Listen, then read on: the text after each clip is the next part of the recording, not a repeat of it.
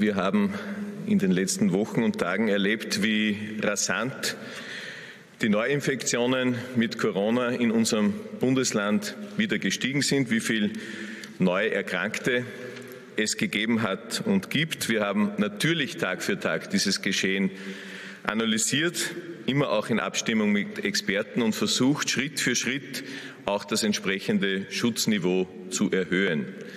Es war natürlich so in all diesen Wochen und Tagen, dass sich viele an uns allen, auch an mich gewandt haben, in Gesprächen, in Zuschriften, in E-Mails. Den einen war es zu langsam, den anderen zu schnell, manchen zu wenig streng, den anderen wieder zu streng. Natürlich ist in so einer Ausnahmesituation eine gewisse Divergenz, auch eine Spaltung durchaus im Lande feststellbar. Gerade da ist es aber Aufgabe der politischen Entscheidungsträger, auch Aufgabe des Regierungschefs, Entscheidungen zu treffen. Und das haben wir getan und tun es auch jetzt in einer sehr schwierigen Situation.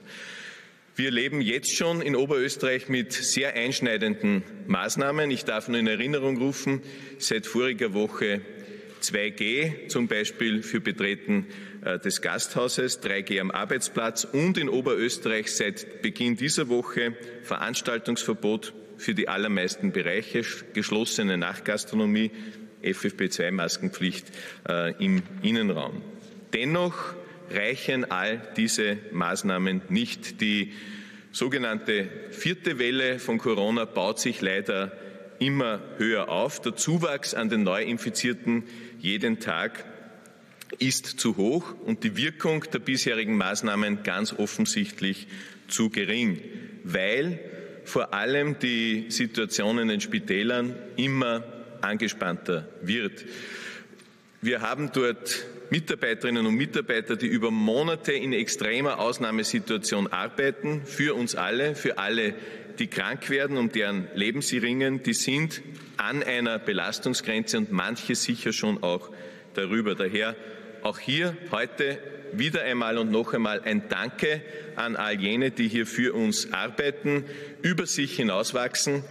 Äh, wir brauchen sie auch weiterhin. Wir wissen aber auch, dass auch ihr Schutz ein ganz wichtiges Argument ist, um entsprechende Schutzmaßnahmen für alle zu setzen, weil wir nicht zulassen können und wollen, dass unsere Spitäler, vor allem auch die Mitarbeiterinnen und Mitarbeiter in den Spitälern, überlastet werden.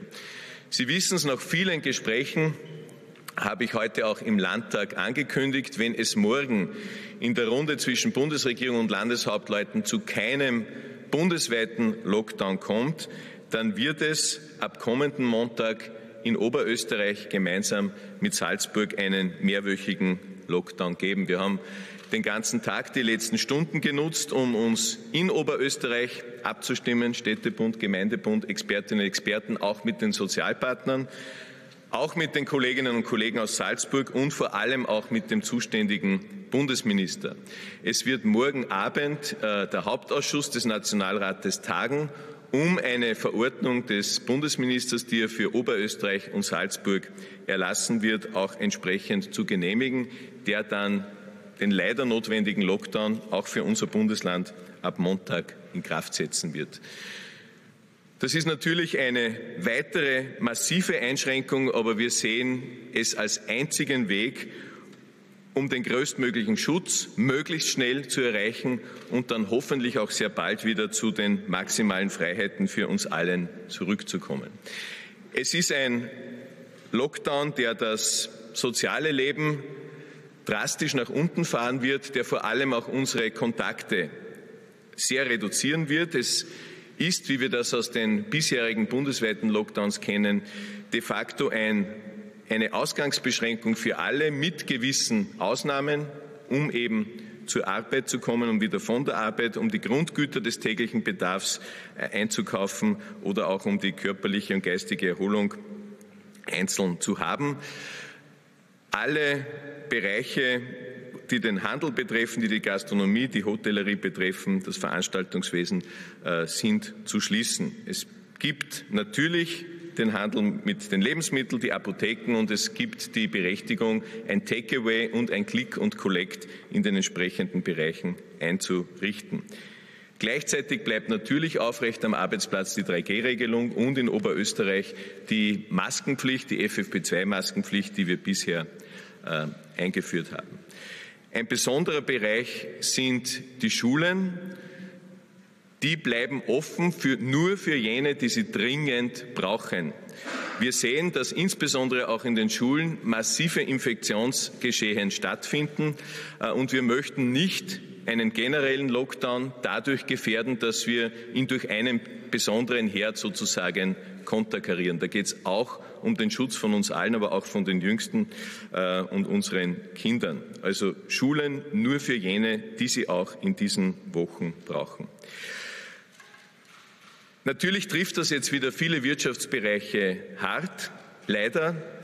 Wir haben daher auch mit dem Bund besprochen, dass es die entsprechenden Hilfen geben muss.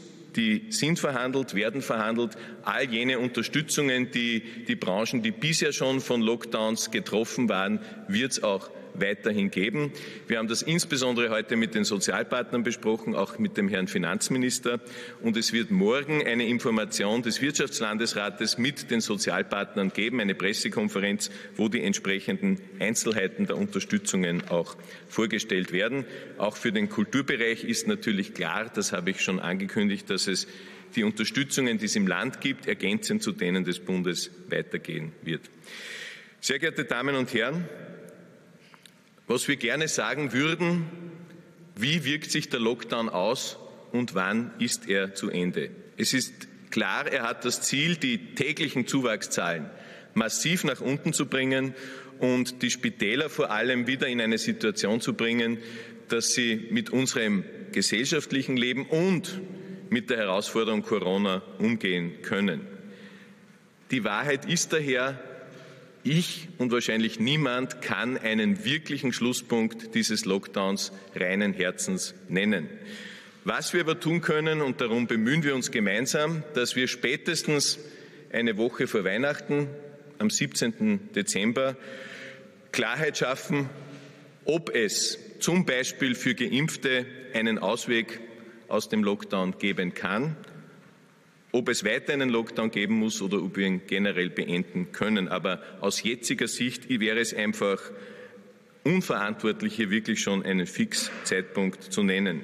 Klar ist aber, dass wir den Lockdown natürlich nur so lange aufrechterhalten werden, wie wir ihn auch unbedingt brauchen.